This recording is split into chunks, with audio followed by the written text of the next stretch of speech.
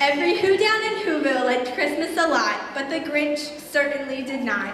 The Grinch hated Christmas the whole Christmas season. No me gusta la Navidad. I hate Christmas. Now please don't ask why, no one quite knows the reason.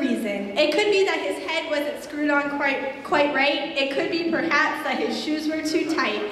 But I think the most likely reason of all may have been that his heart was two sizes too small.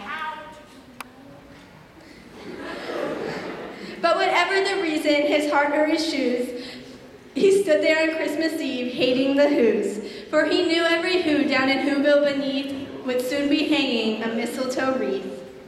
and they're hanging their stockings. Tomorrow's Christmas, practically here.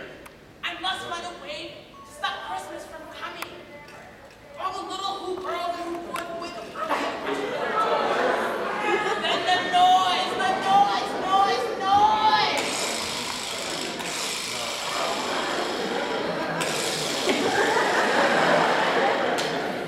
And they'd do something he liked least of all. Every Who down in Whoville, the tall and the small, would stand close together with Christmas bells ringing. They'd stand hand in hand, and the Who's would start singing.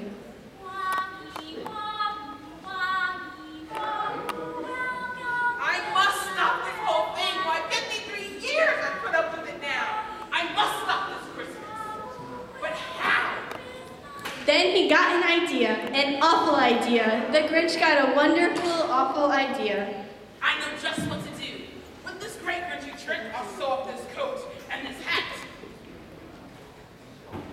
And I'll look just like Santa. Now all I need is a rain. The Grinch looked around, but since reindeers are scarce, there was none to be found. The Grinch simply said, If I can't find a reindeer, I'll make one. Max!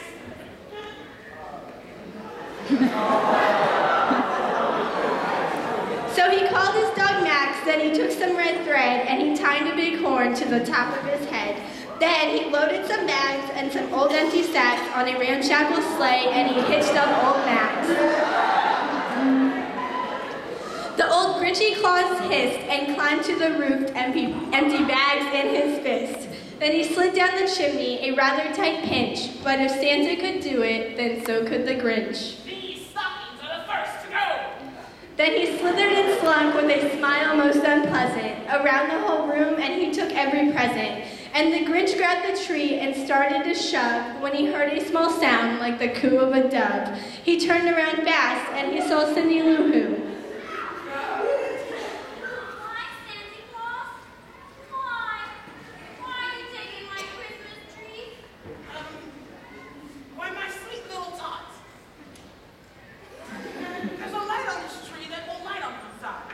So I'm taking it up to my workshop, my dear. I'll fix it up there and I'll bring it back here.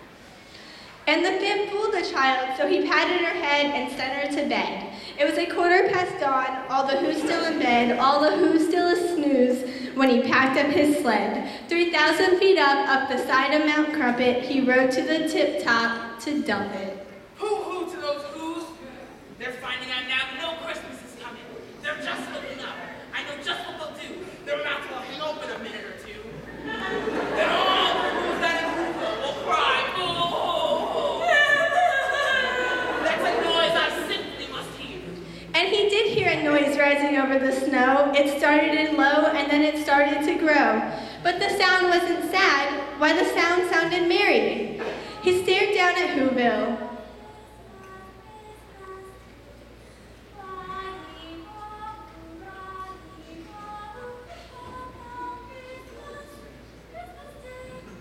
The, the Grinch popped his eyes, then he shook. What a shocking surprise.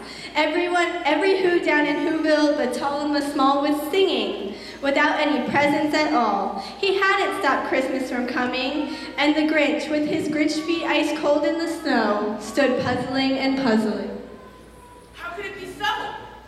It came without tags. It came without ribbons, boxes, or bags.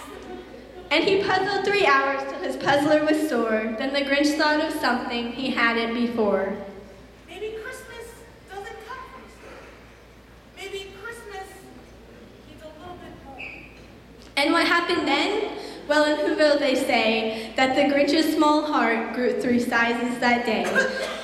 And the minute his heart didn't feel quite so tight, he whizzed with his load through the bright morning light. And he brought back the toys and the food for the feast, and then he himself cut the roast beast.